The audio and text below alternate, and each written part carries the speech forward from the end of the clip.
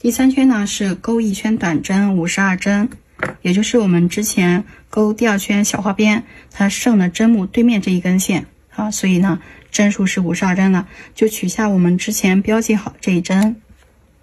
这是第一针剩的对面。好，穿过去之后。我们这样，左手是拿好线，前面拿线呢有讲解过，放在后面钩针这样绕线，把线勾出来，然后钩一个辫子针，绕线钩一个辫子作为起立针，还是这一针里呢钩一个短针，穿到第一针。线头，看一下起针有线头的时候要给它放在钩针上，这样边钩边藏线，绕线勾过来，钩针上两个线圈，绕线勾过这两个线圈，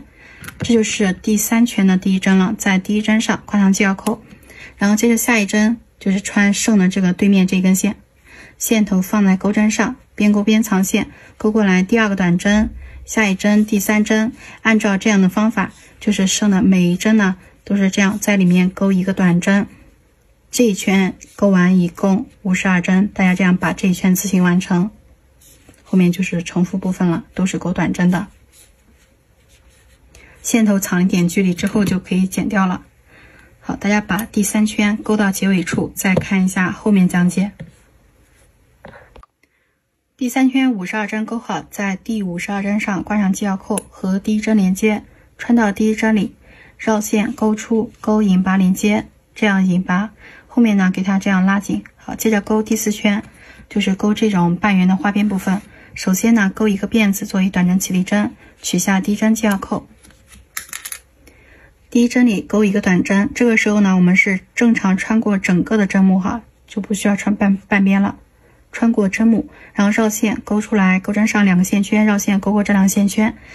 在这个第一个短针上挂上记号扣，然后接着后面呢，我们要空一针，看一下，空的是这个针目，空过一针，在下一针呢钩五个长针，钩针绕线，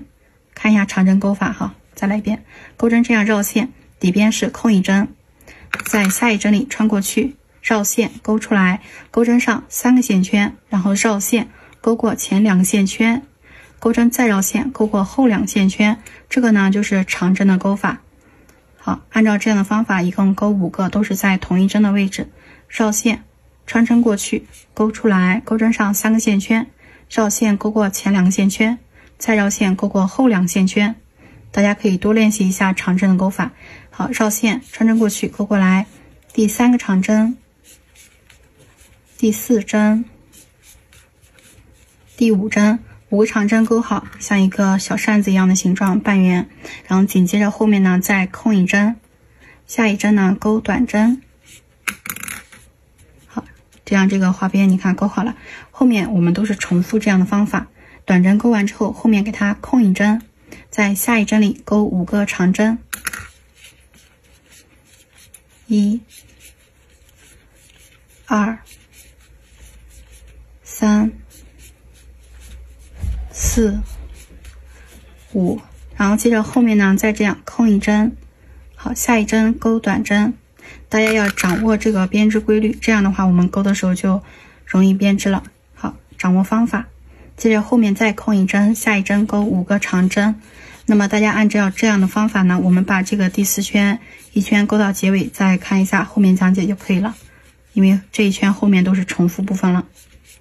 按照我这里讲解的这个方法钩过来，紧接着后面再空一针，下一针里钩短针。好，大家把这个第四圈钩到结尾处，再看一下讲解。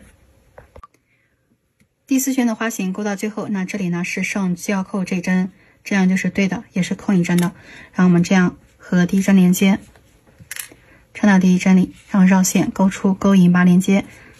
将线这样带出来，剪掉，然后拉紧。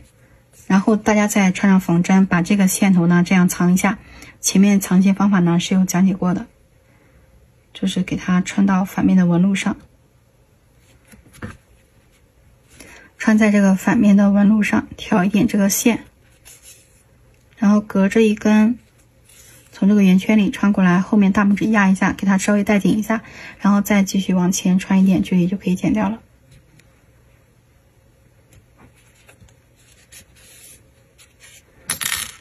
将这个线剪掉，这样这个车挂的主体部分我们就做好了。看一下，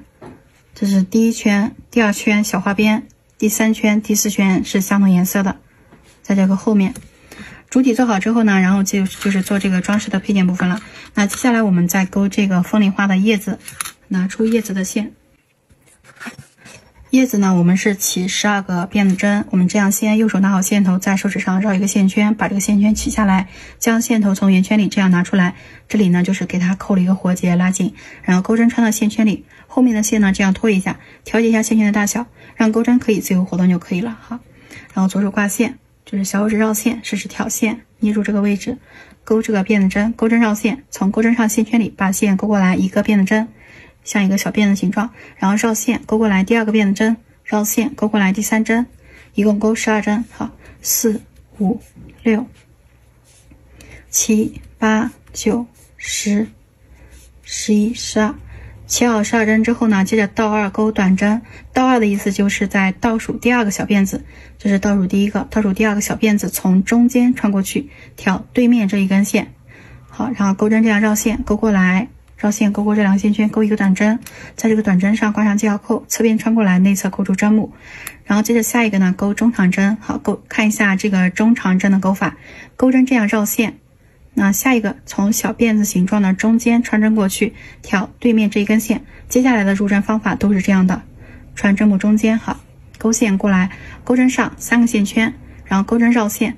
直接从三个线圈里把线勾过来，这个就是中长针的钩法。接着下一针钩长针，好，钩针绕线，下一个辫子中间穿针过去，绕线勾出来，钩针上三个线圈绕线勾过前两个，再绕线勾过后两个，然后接着下一针钩长针。啊，钩中长针口误哈。我们这个长针钩完之后呢，接着下一个是中长针的这个弧度的形状是由低到高，再过渡到低这样一个形状。好，绕线，下一针穿过去，绕线勾过来，钩针上三个线圈绕线，直接勾过三个线圈。下一针钩短针，好，然后接着这个中间位置呢，在下一个辫子位置钩引拔针，钩针这样绕线勾过来。引拔针就是前面线从后面线圈里直接勾线过来，这里的引拔针不用拉紧哈，就是这样就可以了。你看这半边的叶子呢就勾好了，然后接着这一侧方法是一样的，再继续勾过来，下一针钩短针，下一针中长针，下一针长针，下一针中长针。然后现在呢是到起针的第一个辫子位置了，你看这是线头，这是第一个辫子，在这个辫子位置呢钩三个短针，好穿到这一针里，钩线过来一个短针，还是这针钩第二个短针，接着钩第三个短针，三个短针钩完呢，它就转到对面了。钩完之后，如果说你觉得这里的孔有点大的话，可以这样捏着织片转动这个线头，在这里呢给它收紧一下就可以了。然后对面呢，我们就是把叶子的另外半边给它钩好。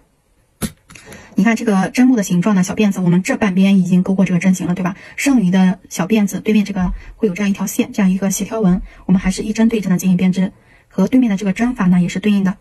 那刚刚结尾这里呢是一针里勾了三个短针，所以对面的短针呢已经勾完了，紧接着后面呢我们就勾一个中长针。那你看剩的这个小辫子，在这条线这个底边位置穿过去，